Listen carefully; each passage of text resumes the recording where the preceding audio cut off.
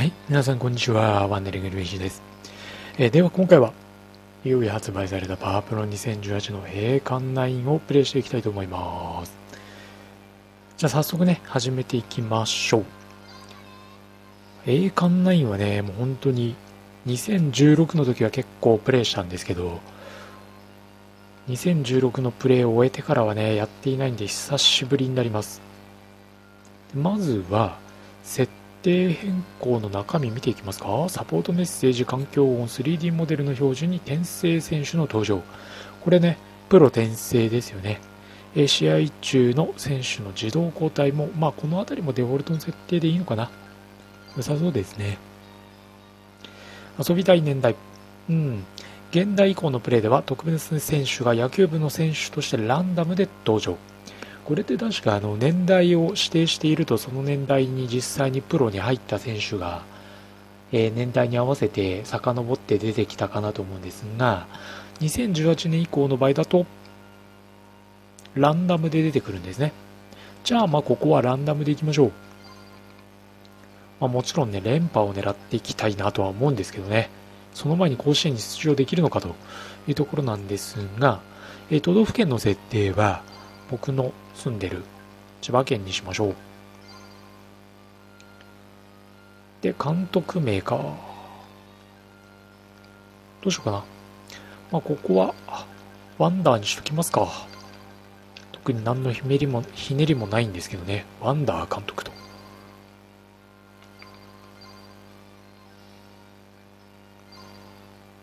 名字とかこの辺りは、このままでいいかな。ちゃんと変えよう。タイスキーっていう名前にしますか？じゃあ。なんのこっちゃいっていう方もね、いらっしゃると思うんですけど、そういう方は、あの、ツイッターの方をね、覗いていただければと思います。タイスキーっていうね、変な名前のやつになりますけど、外人みたいな、外人だとね、なんかいそうですけどね、タイスキーっていう名前の登録名タイプはワンダーにしときましょう。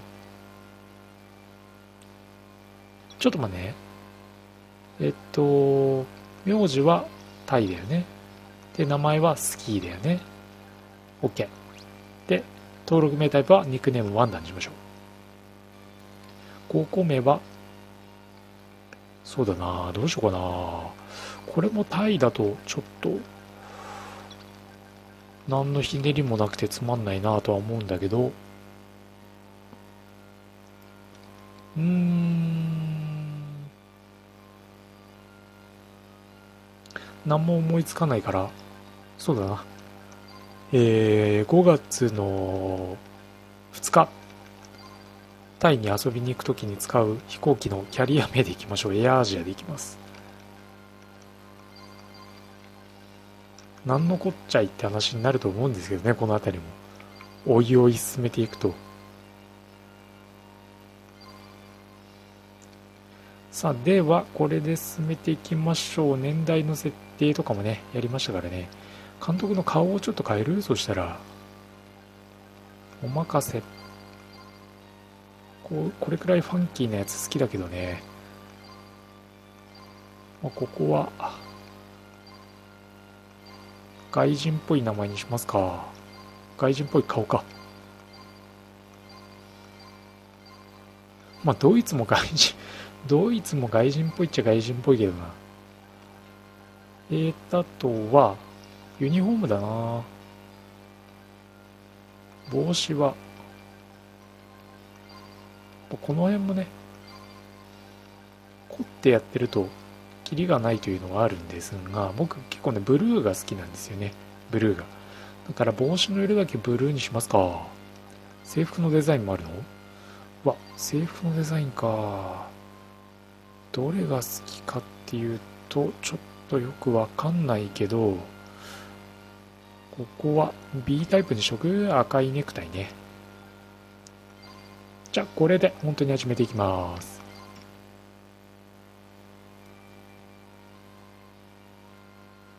新入部員は全部で6人だね。ピッチャー山谷。土肥に関してはしたたかなんだな、性格が。カーブが4ついてるな西田調子者。で根岸に石森。あとは角田ですね。まあ大した選手はいないなっていう感じになっちゃうけど。じゃあこれでいかない。始めていきましょう。いや本当にね待ちに待ったパワープロの新作ですからね。この辺りはどうだろう？2016とほとんど変わらないのかな。まあぶっちゃけた話栄冠9に関しては2018になったからといって新しい要素はきっとあんまりないのかなとは思うんですけどね。ちょうどねあの今画面で音は出してないんですけどミカミックスのサクセスのライブを横目でチラチラ見ながらのサクセスです。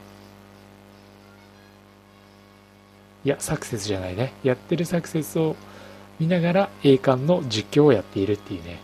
それはそれでなんだっていう話なんですけど。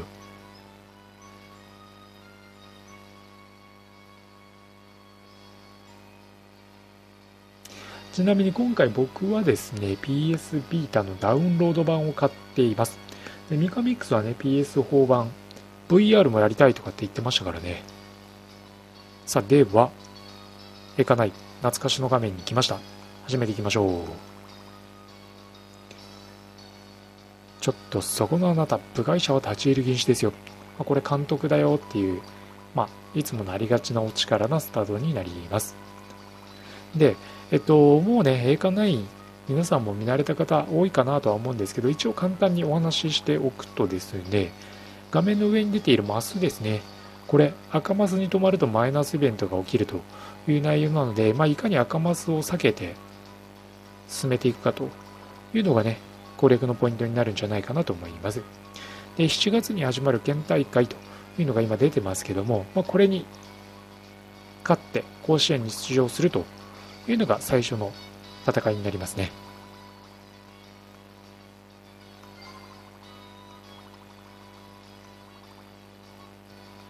で、スケジュールの進行方法、もうね、すっかすっかり忘れてしまったんで、一応見ときましょう。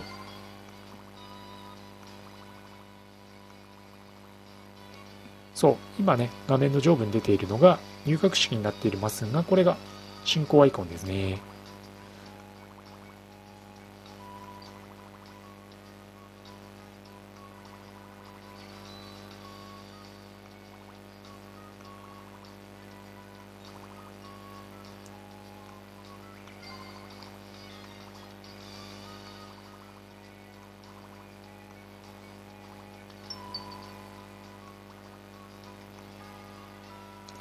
さ、入学式です。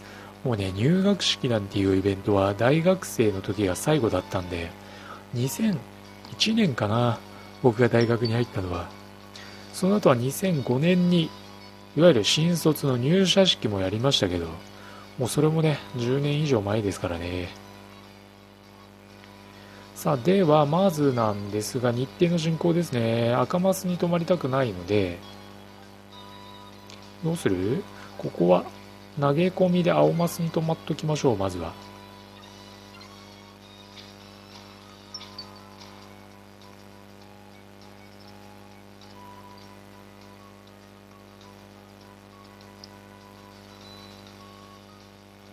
角田は冷静に何事も動じずにプレイしているようだ。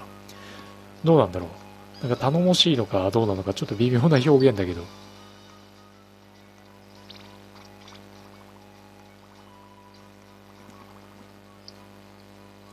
で、今ね、ちょっとプレイしましたけど、この進行アイコンに出てる数字の数だけマス目が進んでいくので、まあ、その語呂がね、合わないようにして、選択肢をある程度数持っておくっていうのがね、いいのかなとは思いますけどね。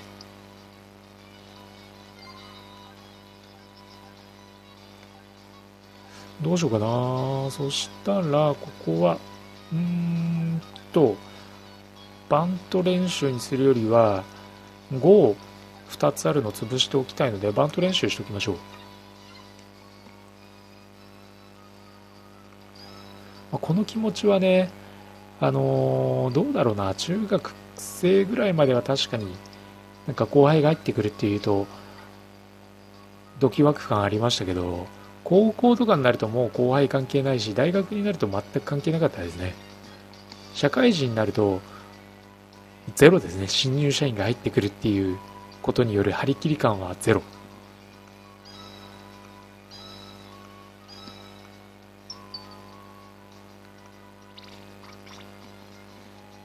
で、続いては、ここももう一回バント練習で黄色マスに止まってきますか。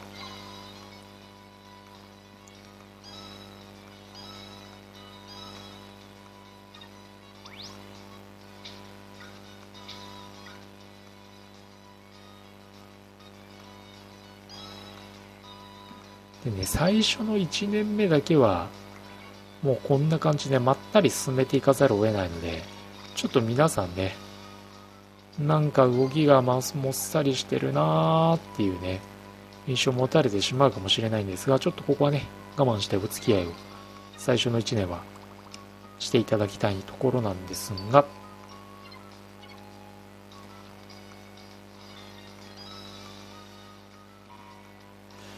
とそろそろ緑マス土曜日出てるの、これ体力の回復だったかなと思うんで、これを狙っていきましょう。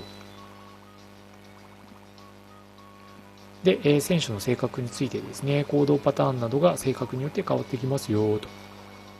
まあ、千差万別ですからね、ここは一気に3、2つ残しちゃうの嫌だけど、変化球の投げ込みをして、緑マスで一気に体力の回復をしましょう。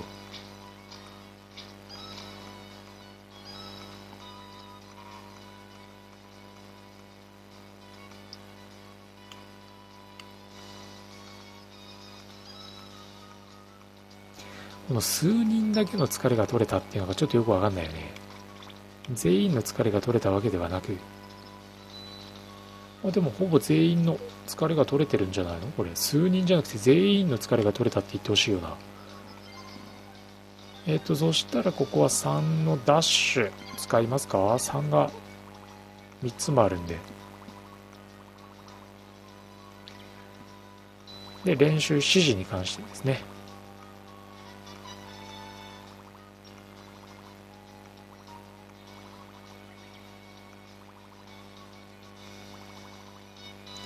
まあ、ここはね、ミートアップ、スタミナアップとかって今出てますけど、当然打撃系に振ってった方がいいかなとは思うので、各選手に打撃系メインで入れていきたいよな。打ち勝たないといけないからね、結局。宮内に関しては、急速アップ。もうね、投手は基本急速アップですよ、やっぱり。球速が速い選手は打たれにくい。で、藤村は、これミートだね。もう基本全員ミート。守備は二の次でミートを上げていきましょう。で、一括で全員ミートとかってできないんだっけ？これね、確かあの選手の入ってくる人数も、前回の、その、県大会とか地方大会の成績次第だったかなと思うんで、選手が増えてくるとね、当然、操作が月に1回多少面倒にはなるものの、基本的にもう、えー、投手に関しては、急速。えー、野手に関しては、ミートでいきましょう。あれ、励ますってなんだっけ？ちょっと励ましてもらいたいな。励まされよう。藤野を励ました。元気になった。テンションが上がった。いやー、僕も励ましてほしいな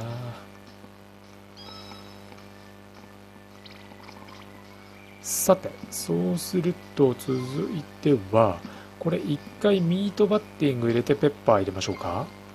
で、スクワットにすれば練習試合ができるね。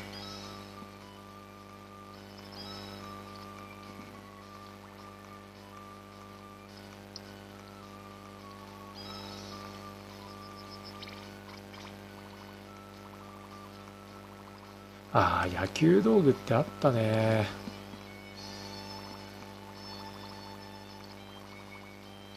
まあ、ただ、えー、1選手1回まで野球道具が使えますということですね。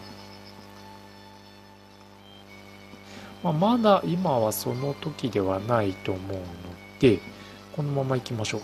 地域のボランティアって何？ちょっと参加したいな。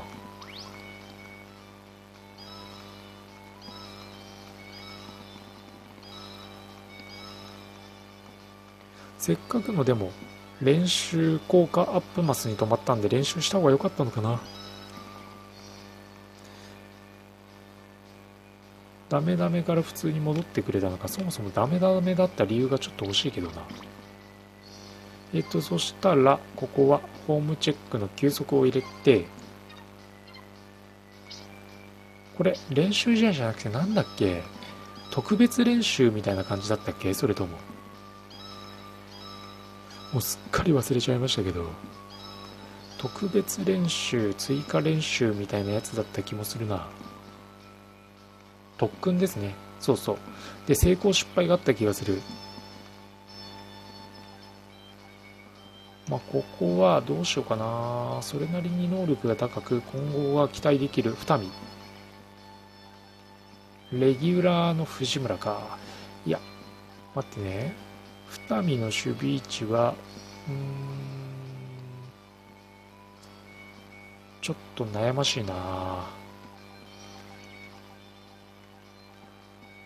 まあ、将来性のある西田、これ将来育てていきたい保守候補になると思うんですけど、まあ、ここは二見だろう。二見には威圧感とか絶対取れないからな。ここははい、イエス。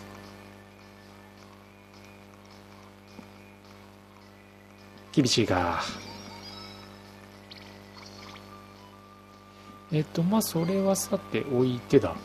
えっと、ここは5が2つあるんで、5しか選択の余地はないので、守備連携にしましょう。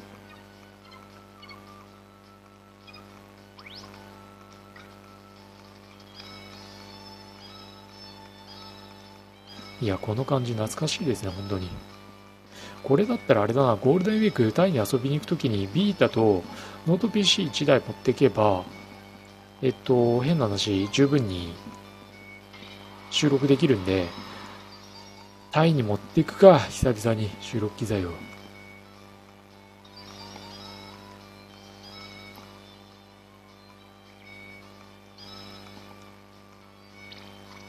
まあ、ある程度ね、ラッキー要素が当然この栄冠内には入ってきてしまう部分ではあるんですが、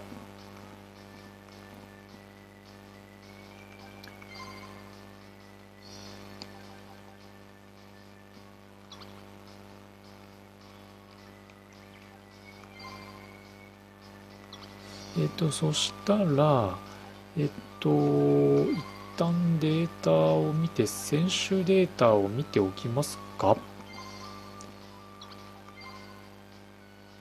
宮内、大貫、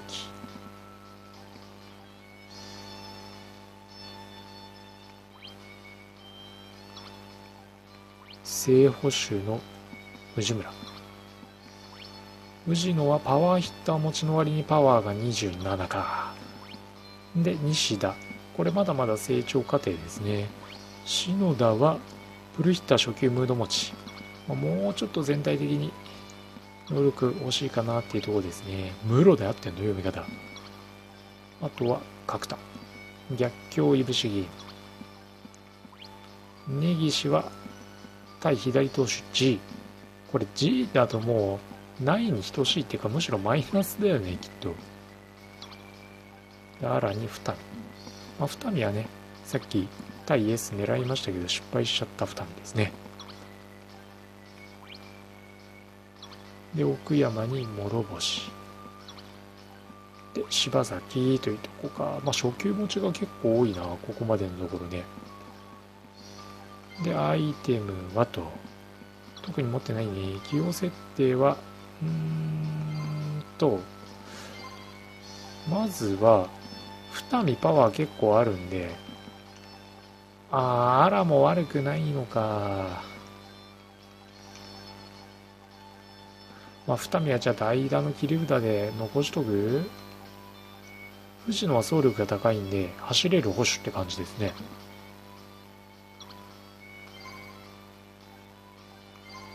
チーム方針はうんまあこの辺りはいいかなバランス重視攻撃力重視かなで送りバントスクイズヒットエンドランの頻度は普通ですね。でマネージャーのメモ。選手の特殊能力について。うん。まあこれはさっき見た。今見てきたところですね。じゃあ続いて。どうしようかな。ペッパー練習休みにして一旦いいことを起こしましょう。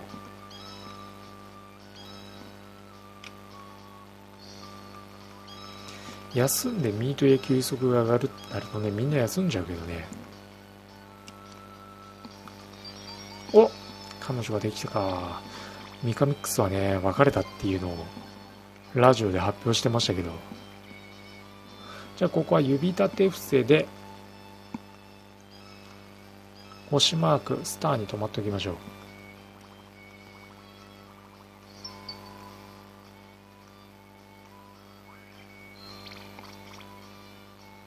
まあここは普通に考えたらどうなの？上に行くのがいい気はするけど。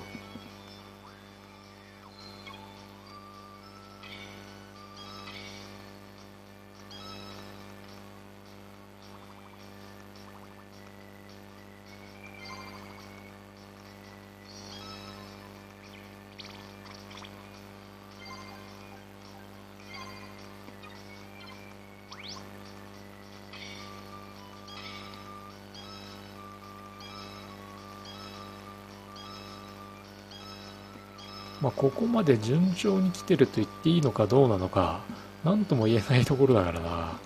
パッと見、さっきのね、えー、選手を見た感じだと、プロ転生はいなそうでしたからね。まあ、やっぱりね、保守、ピッチャー、ここで打たれないバッテリーを作って、えー、ミート重視の打撃陣がえー、敵をね打ち崩すっていうのが一番いいのかなとは思うんですけどね。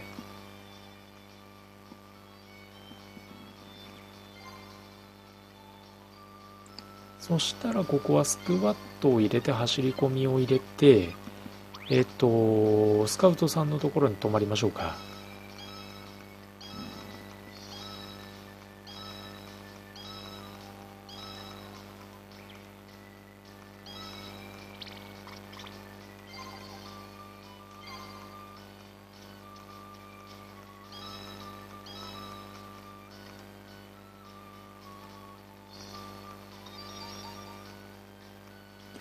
さあ、誰を推薦するかだなまあ、ここは二見かな。なんか二見、目をかけてますけど、今のところ。じゃあ、スケジュールの見直しを入れて、1143。うん、まあ、ここは3かな。体力の回復。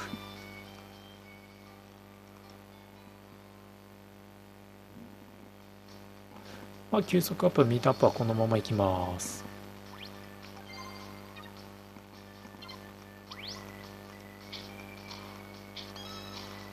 まあ、ホームランはね、あんまり期待せずに、つなげるバッティングって感じにはなりますけどね、ミートばっかり上げてるんで。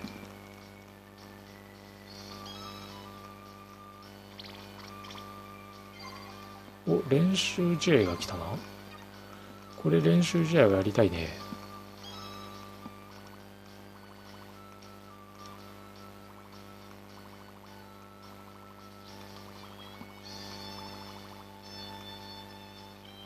えっと、練習試合の説明も聞きましょう。すっかり忘れちゃったからな。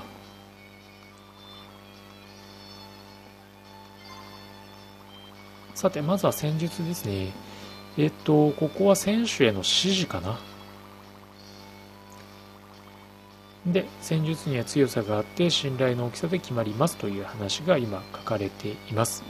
ここも多分ね、画面を見れば思い出すんじゃないかなっていうの今見ていただいている皆さんの方がきっと詳しいんじゃないかなと思うので、えっと、固有戦術については、えっと、確かね、黄色か金色かで光るものが1回だけ使えるっていうのが、あ、そうですね。各選手1回のみ可能ですっていうのが出てきますと。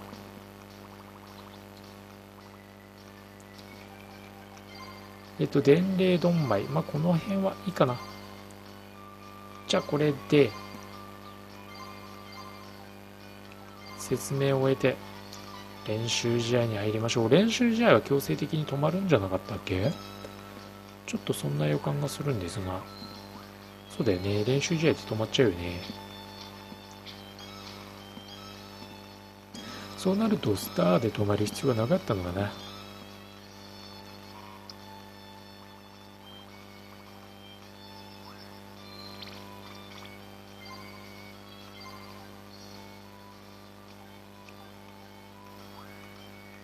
まあ、たまには勉強も必要ということで、練習試合の前に勉強しましょう。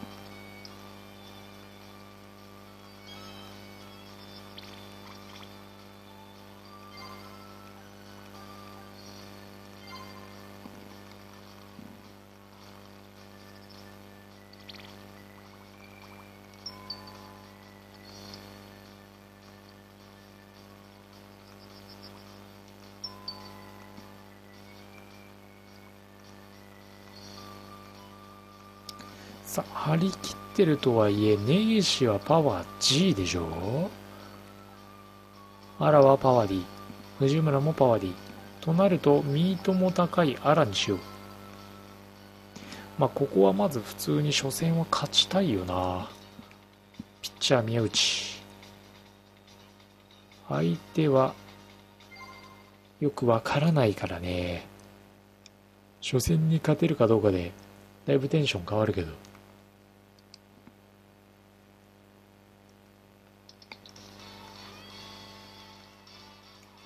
習志野北高校 VS エアアジア。もう全然雰囲気が変わってくるけど。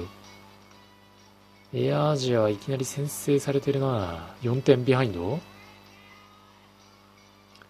えー、っと、ここは一塁にランナーがいてツーアウトか。うーん。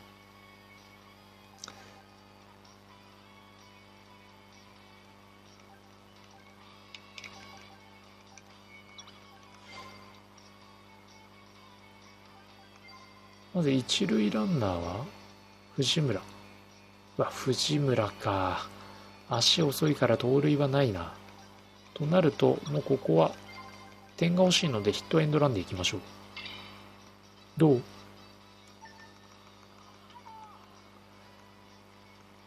なんかいきなりの4点ビハインドはきついよなしかもさらにワンアウト二塁のピンチ。まあ、ここは緩急重視でいきましょう。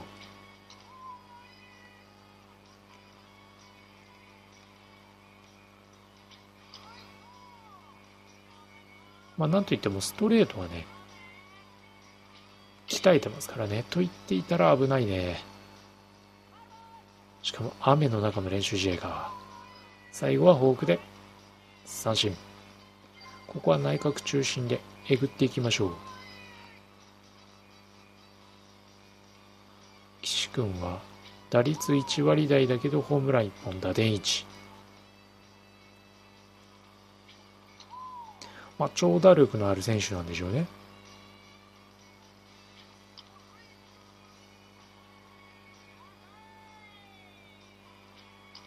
うん。フルカウントからの第6球目。これはサードがファルグランドで抑えますと。なんとかね、点取っていかなきゃいけないんだけど、お、あらだな、あら。うーんと、ここはワンアウト、ランナーが一塁。どうする？えっと、一塁ランナーを確認しましょう。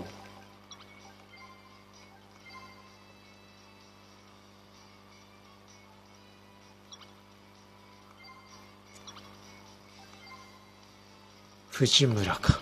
また藤村か。えっ、ー、と、ワンアウトランナー一塁。まあ、ここはもう黄色い線使っちゃおう。んで、その上で、ヒットエンドラン。またヒットエンドランかっていうところなんですけど、うわ、やられた空振っちゃったか、ヒットエンドランで。まあ、藤村が走者にいるっていう時点で、どうなんでしょうね。ヒットエンドランを出すこと自体が間違ってたのかな。うまい思わずうまいって言っちゃいましたけど、2球続けてカーブを投げてきたのをしっかりセンター前ですね。ただ点は取れずか。ここは低め中心に行きます。今のフォークとか結構落差ありましたよね。ん？ナックルカーブ。ナックルカーブ投げるんだ。宮内は。最後は全力ストレートで空振り三振。で、9番赤池か。ここも緩急重視でいきますか？まずはストレート129キロ。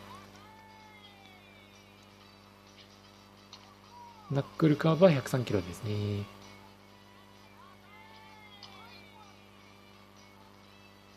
お、バテてきたか。この回までは投げ切ってほしいけど、カウントは3ボール1ストライクから第5球目。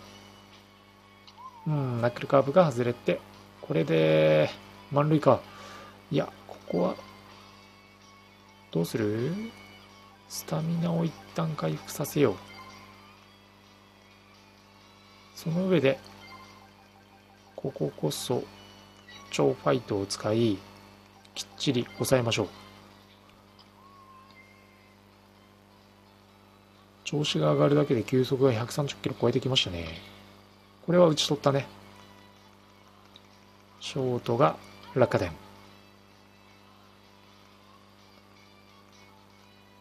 1点まず取りたいな、1点。室。ここは、グラウンドの魔物を使って、流し打ち。うん、なんか引っ張りにかかったのは流し打ちの指示の割に。シュートが外れてワンボールワンストライク。しっかり外角のボールを右方向に打ってくれれば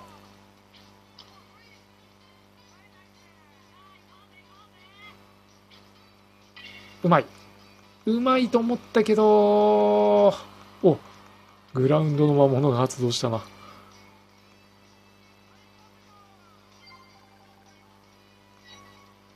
1点取りたいんでここは引っ張りましょう。外角のストレートか、111キロ。全然ボールは遅いですけどね、うちの宮内に比べると。全力ストレートでも113キロ。いや、このバこのピッチャー打ち崩せないのか。まあ、しょうがないね。お、またアラだな？まあ、アラ君は、ここは引っ張りにかかりましょう。いや、この赤い池全然なんだけどね、防御率とか見るとね。6.39。それだけうちのバッター陣が打てない。野手陣が打てないんだなん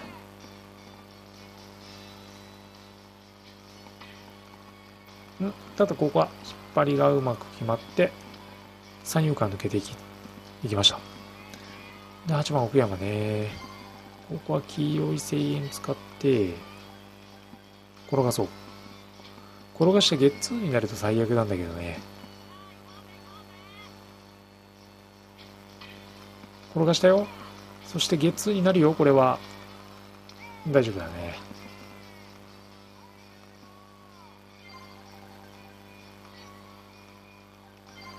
もうここはね、最後のチャンスかなと思ったけど打てないか。まあ、月崩れの間に1点。これが精一杯なの？えっと、お祭り男はさっき使ってるんで、ここは流し打ちで。もう1点、2点取って、8回、9回につなげたい。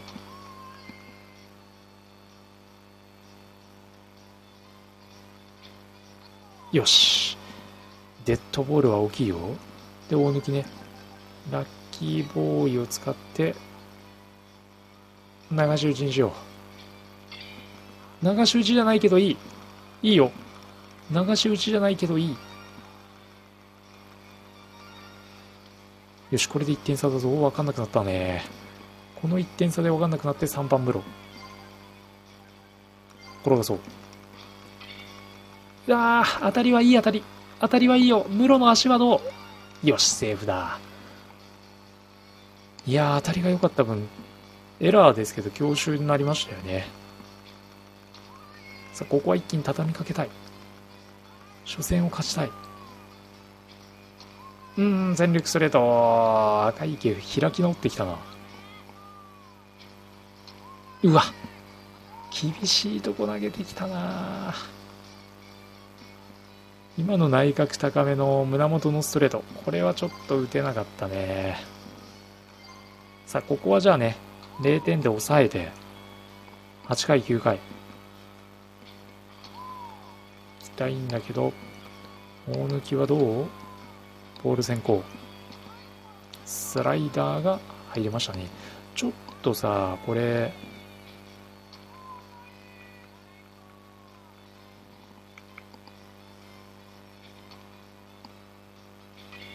うわ、うわ、しかもさ、今のトンネルするかな？ちょっと今の懲罰的な交代ありだよ、センター。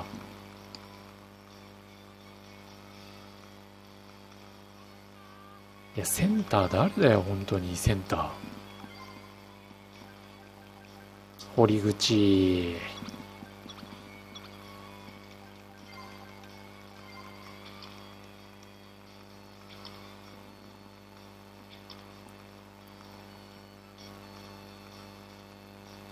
さ、1点ね、エラーから取られてしまいましたけど、ここはしっかりと、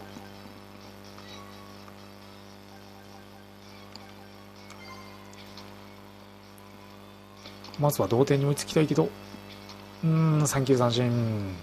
そして、アラだな。アラ今日ね、2安打してるからね。嫌が王でも期待しちゃうんだけど、2エンド2から、いやー、ゲッツーだなこれは。一塁はセーフ。いやー、敵も結構エラーしてくれるのはありがたいな、本当に。どうこれ？当たりはでかい。そのまま、そのままいけ。だー、ちょっと、もう一伸びなかったか。まあ、ミートばっかり鍛えてますからね。ツーアウトランナー三塁一塁で、9番の根岸。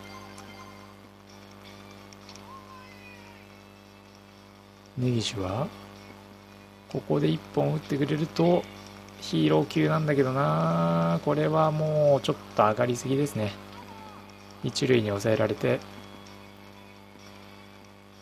最後の回か。まずはお祭り男。もうこれ1本出てくれればねこの後連打が続きやすくなるっていうお祭り男の効果が存分に発見す発揮されるところだと思うんですけどね。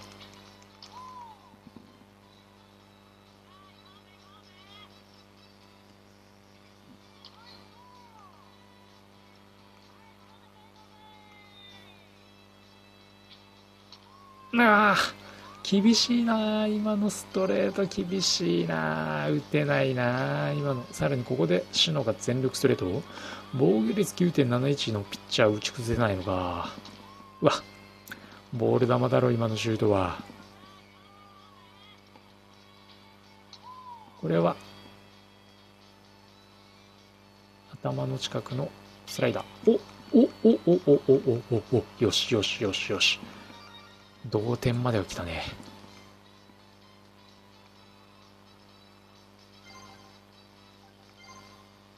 いや、これ引っ張りで、それこそホームラン狙いだな。サヨナラホームラン。勝ちたい。どうしても勝ちたい、初戦は。動画的にも勝ちたい。よし、これでスリーボールですね。よし、ストレートのファボール。4番の堀口。4番らしい仕事してないからな、今日。ここも引っ張ろう。うーん、今のスライダー打てないよ。膝元の内角のスライダーからの同じく低めのストレートに空振り。で胸元のストレートときたら最後は外角の変化球でしょう。いや違う。これは切れるな。うわ最後はスライダー。お、そして二見だな。引っ張ろ。二見は確かね、あの、パワーは D あったと思うんで、一発はあると思うんですよ。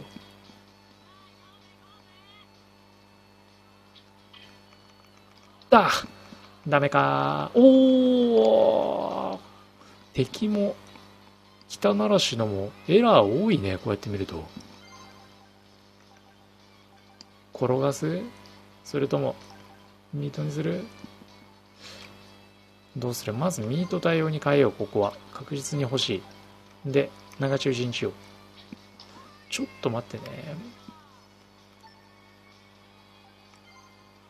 そもそも、藤村の能力はというと、パワー D。あー。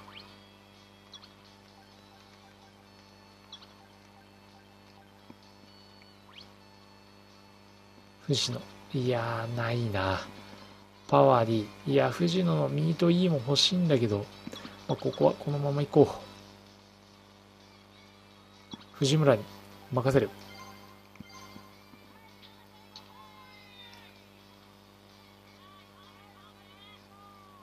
頼むぞ。危ないな、今の全力ストレート。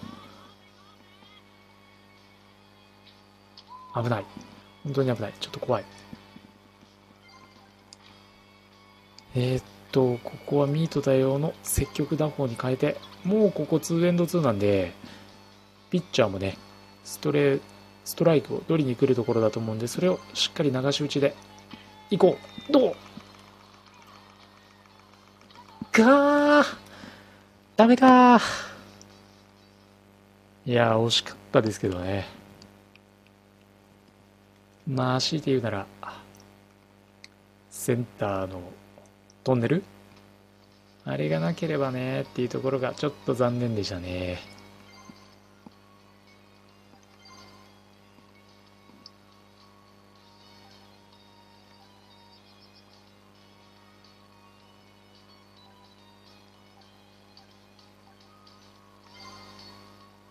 まあ、あとは立ち上がりに4点取られたっていうのがちょっといただけないかな。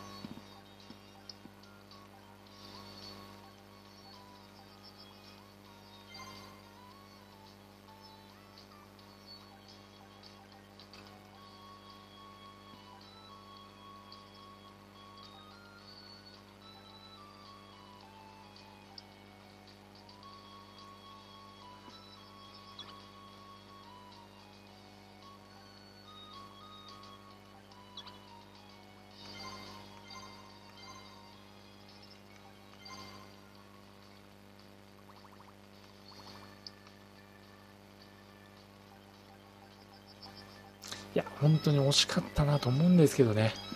もうちょっと見せ場があったらよかったかなとは思うんですが。